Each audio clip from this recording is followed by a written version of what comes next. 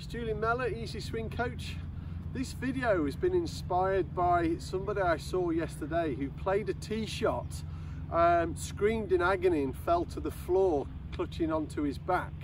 Uh, not sure what had happened, don't know if his disc had gone or his vertebrae had gone, um, but he was in real agony and it really prompted me to remind you guys of how we should be moving uh, to avoid injury when we're swinging and I think two or three holes previous I was watching him and such a common fault that I see in the golf swing is when people hit their drives they lean back in this position from here and that puts a tremendous amount of pressure on your lower back on your discs and on your vertebrae. And I'd done a video on a thing called the kinetic chain uh, with, with one of the other coaches, but I thought it was really important that I reminded you how to avoid injury when you're swinging the golf club. So what we're going to talk about here are common injuries in golf, which are knee, lower back, neck and shoulder and uh, elbows and how we can start to avoid injuring ourselves when we're playing. So it's a thing called the kinetic chain, which I'll talk about first, which is how your body is designed to move as a human being, not as a golfer. So let's ignore the golf, but let's put that to one side for one second, but how your body's designed to move. And it starts with your ankles. Your ankles are really mobile, they're really good at moving, nice and free. Then we have your knee, which is a hinge joint. Ideally, if I do that from this way, it just goes backwards and forwards, ideally. Then we've got your hips, which are nice and mobile, good at twisting. If you're good at dancing, you definitely need your hips. Then we've got your lower lumbar, lumbar spine, which is a common injury in golf, supported through the pelvis, is a fairly stable joint.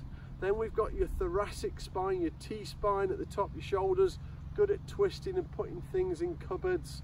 And then we've got your neck, which is holding your head on, your head's a pretty heavy piece of equipment. If your neck was all wobbly, you wouldn't be able to support your head. So your neck is fairly stable. So what we have there is mobility in the ankle, stability in the knee, mobility in your hips, stability in your lower spine, mobility in your, your shoulders, and stability in your neck. So it goes in this nice chain. Now we're all told Make sure you keep your lead foot nice and still, keep your arm straight, keep your head down.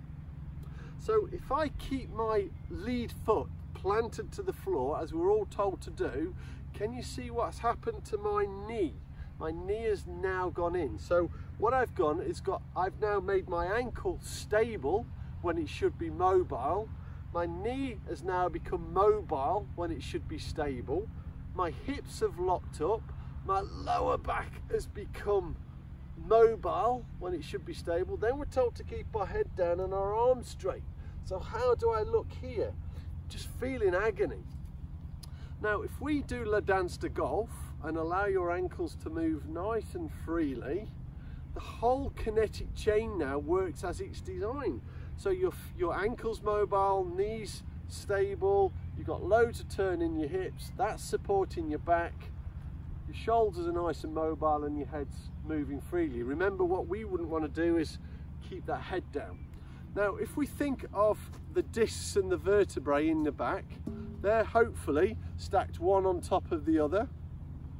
If we turn sideways, turn right and turn left, we don't put any pressure, any extra pressure on these joints.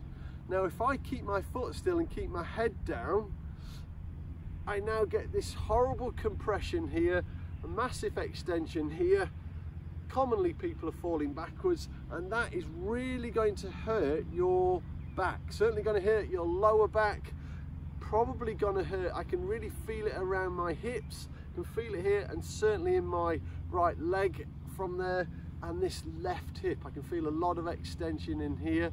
Now if we're slightly fragile or we've got new hips or new knees, putting all this extra pressure on these joints is not good, it's not healthy.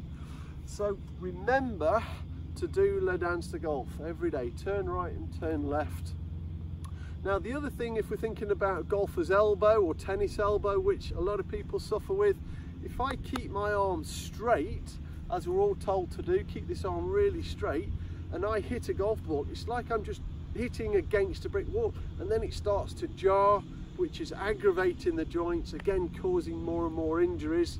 And then the final one where we're told to keep our head down through impact, if I'm here, I'm now putting loads of pressure on my neck joint. So remember what we're looking for is the freedom from the ankle first. Let your ankles move nice and freely. Let your elbows bend, let them soften because that's going to avoid hitting against something that's really straight. So they'll nicely soften and as we've hit the ball, go with it. Start to look towards that target. And what we're looking for is you to finish nice and balanced but what you probably see here is my body's quite straight. So what I'm not here is in this awkward position or worse still, leaning back and I'm in this funny kind of movement on the follow through. Likelihood is if you're doing that, you're gonna hit behind the ball or top the ball, block it, or just quickly flip the hands over and get that hook going. So remember every day, get that dance going to avoid injury. And if your golf swing is hurting you, there's something wrong. You need to be addressing what that is. Best thing to do is video yourself, have a look because you, you know what's hurting and what isn't. Have a look at it and, and see if you can spot anything. See if you can see yourself leaning one way or the other or if something is too straight or something looks a bit out of the ordinary, then there's probably something going on that's not right. And, and if you're being taught a movement and that's physically hurting you, I would be tempted to walk away from that because what we don't want to do is play golf with an injury because it's really, really, it's, it's not only does it hurt, but it's also impossible to play a, a sensible round of golf. So we need to avoid injury, use the kinetic chain properly, remember the, the mobility, the stability, how it all stacks up. Understand that listen to your own body and make golf swings that you really enjoy and don't put any pressure on any extra joints. Uh, so this is really a reminder of how to move your body rather than a, a, technical video. So I hope you find this helpful and if you wanted to get in touch simply you can either look on my website julianmellorgolfschool.com uh, send me a message or leave a comment below I'll happily um, happily reply to you. And remember, if you ever need any help, any any one-to-one -one coach, or you want to join me on one of the courses, you'd be more than welcome. Uh, and all the details are on my website.